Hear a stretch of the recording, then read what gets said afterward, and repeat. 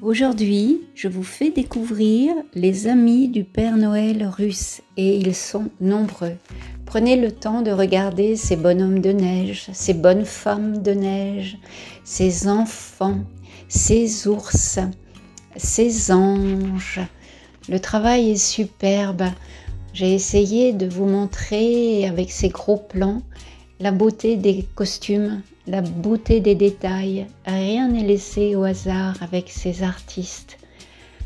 Voilà, voyez, des enfants avec des animaux qui sont toujours autour du Père Noël dans la forêt et de la petite fille des neiges.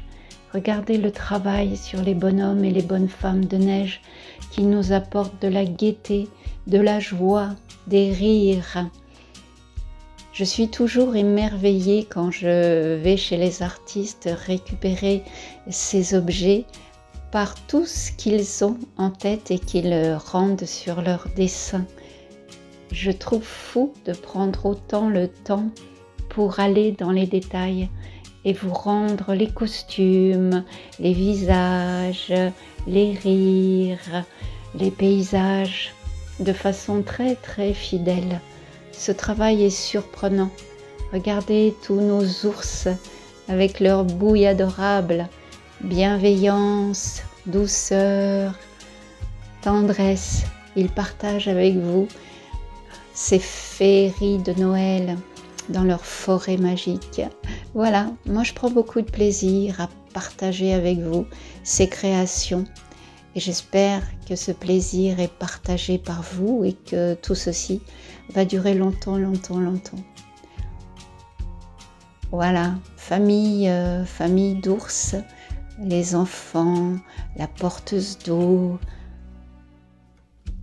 Regardez les châles, le travail sur les châles.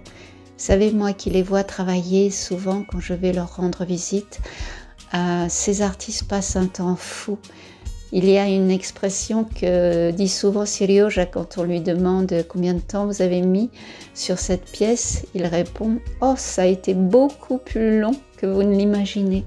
Je trouve que ça résume bien. Le travail est effectivement beaucoup plus long qu'on ne pense parce que vous avez le sculpteur qui fait déjà un travail magnifique à sculpter ces petits bonhommes et ces petites bonnes femmes.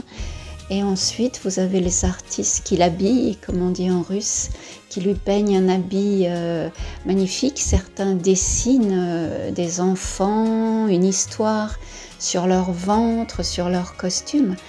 Et euh, donc, imaginez le temps consacré à chaque pièce. Donc, ceci mérite le respect et mérite qu'on prenne le temps de rentrer dans l'histoire racontée sur ces pièces.